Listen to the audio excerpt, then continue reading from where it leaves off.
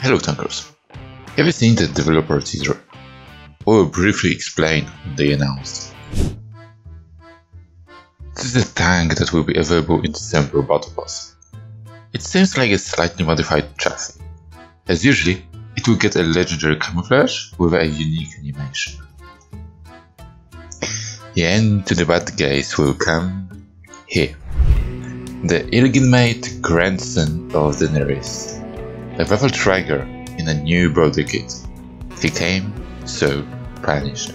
A lover of chains and black Lexus. He worked at Blue Oyster for 5 years and can tell who's misbehaving.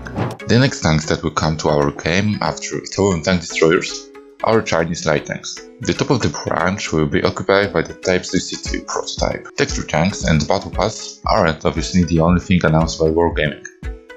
Now it's time for a premium vehicles. The first one is WZ-114. It will be most likely introduced as a Tier 9 heavy tank. We also get one new Italian tank too. Bisonte is Italy's first heavy tank. It has a 105mm reloading gun. How exactly it will be balanced we don't know yet, but since it's a Tier 8 premium, it shouldn't be that bad. Another Chinese tank that might come to the game is WZ-132. However, we don't really know anything about it yet. Batchat is being cloned for a future clan event. It probably won't have any big difference in characteristics. It has a good call for a unique camouflage. The Astron Rex is also keeping up with the fashion. Its legendary camouflage seems very similar. For us, it looks okay, but it's up to you if you like this or not. T-57 Heavy is another tank that will get a new legendary camo in the future. It seems like we are getting a lot of new camos.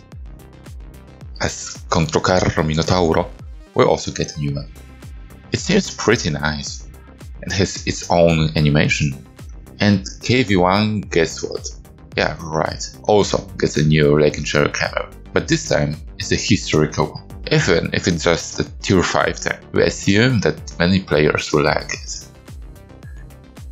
KP-Z50, again, also a new legendary camo. We're starting to get tired of it. It looks pretty well, but as with every other camo, some might like it and some might not hate it.